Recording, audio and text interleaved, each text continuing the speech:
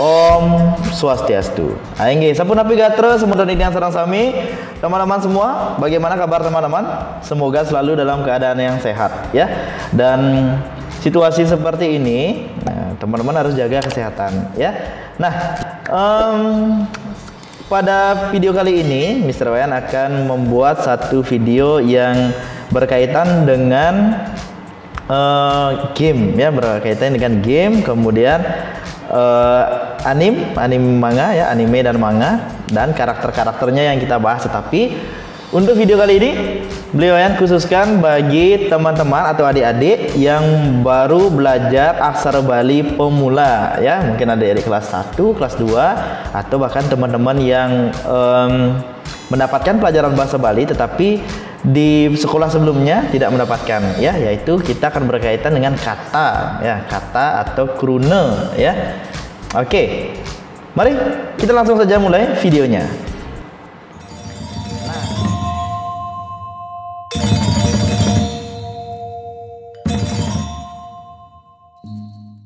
Nah, teman-teman, beliau yang sudah menyiapkan tabel ya yang bisa kita gunakan untuk membuat karakter atau nama-nama karakter ya. E, beliau yang memang khususkan memilih kata-kata atau nama dari karakter yang gampang ya menggunakan huruf atau aksara dasar. Contoh, kita mulai. Hmm, beliau yang punya Kaja di sini. Nah, teman-teman tahu ya. Nah, bagi penggemar Mobile Legend pasti tahu karakter ini ya, karakter seperti uh, burung Garuda ya. Ini gagah sekali ya. Oke. Okay. Kaja. Bagaimana kita menyurat kaja? Nah, teman-teman lihat ya di bagian bawah uh, beliau yang sudah tampilkan uh, ana cereke ya, anak uh, teman-teman bisa melihatnya. Berarti aksara ke. Nah, kita tulis yang mana? Aksara ke ya. Yang pertama kita tulis adalah ke. Oh, aksara ke. Nah, ini adalah aksara ke. Ya, k. K. Kemudian ja-nya. Nah, teman-teman bisa lihat ja-nya. Nah, seperti ini ke. K, ja. Nah, gampang kan? Oke. Ini adalah kaja. Baik.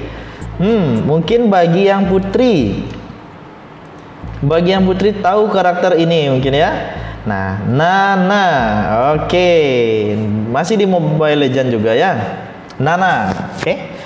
Nana ini ditulis aksara ne. Nah, ini adalah aksara ne ya. Ini aksara ne dibuatnya dua kali. Ah, gampang kan? Nana. Oke, ini karakternya imut ya. Oke, nah sekarang beliau yang masuk ke anime manga ya, anime ya. Anak-anak pasti kenal dengan sosok Boruto kan? Tetapi yang kita bahas sekarang adalah karakter uh, antagonisnya yaitu Kara. Hmm, ini adalah hmm, kalau di zaman Naruto dulu ya, dia ini seperti Akatsuki. Nah, karakter ini adalah organisasi kriminal ya. Kara dibuat K. Nah, ini Kemudian aksara ra, ra-nya bagaimana? Ra-nya seperti ini, Ki. Oke. Kara. Hmm, gampang kan? Oke, kara. Ini adalah aksara ke dan ra-nya. Nah, oke. Lanjut. Ah, karakter ini pasti semua tahu ya. Ini semua tahu. Siapa namanya ini? Karakter cewek ini ya.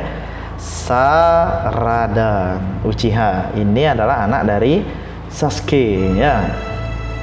Oke. Okay. Sarada. Nah, bagaimana perbesar dikit? Oke, okay. Sarada. Kita buat aksara se pertama. Ya, ini adalah aksara se. Kemudian aksara re, hmm, seperti ini aksara re, sa, ra, da. Nah, gampang kan? Cuma tiga aksara saja sudah bersuara sa, ra, da. Oke, wah. Lanjut lagi, ini karakter salah satu karakter favoritnya beliau ya. Sangat cool di masanya Naruto, kemudian sekarang berubah menjadi sosok Kage ya. Mari kita sambut Kage Gara sama. Wah, ini ya Gara. Penulisan namanya adalah Ga Gara seperti ini sebenarnya ya, tapi beliau akan tuliskan yang simple Gara seperti ini ya. Hmm, kita tulis aksara Bali dari nama beliau kasih kaki terhormat ya Gara nah seperti ini ya hmm. oke gampang ya oke sekarang nah masih di Boruto ya masih di uh, anime atau manga Boruto. Teman-teman pasti tahu karakter ini ya. Salah satu klan yang terdapat di uh, dunia Naruto dan Boruto ya. Ya Manaka Inojin ya. Tetapi beliau yang akan soroti nama klannya karena nama klannya ini simple ya. Nah, karena ini adalah aksara dasar berarti kita tulis klannya Yamanaka nah Inojin ini adalah putra dari pasangan Sai dan Yamanaka Ino.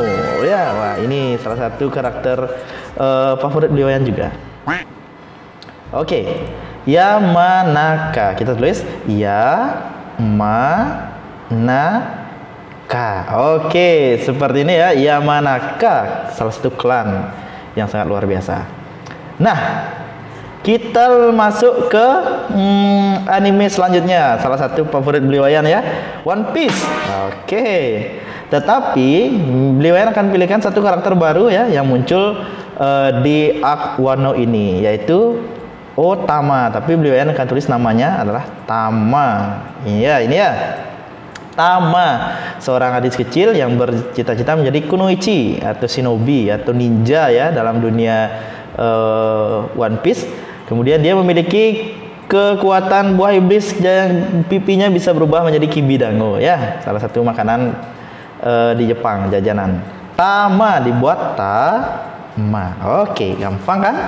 pertama seperti ini ya oke nah lanjut lagi hmm, ini salah satu game kesukaan Biwayan ya yaitu Tekken hmm, teman-teman pasti tahu ini karakter yang akan kita pilih adalah Jin Kasama tetapi kita akan uh, pilih nama keluarganya yaitu K Zama. Tetapi Z-nya beliau akan ganti dengan S saja ya karena kita menyebutnya Kasama, Jin Kazama, Jin Kasama gitu ya. Oke, bagaimana caranya menulis Kasama teman-teman? Aksara ke, kemudian aksara se dan aksara mekasama seperti itu ya. Oke.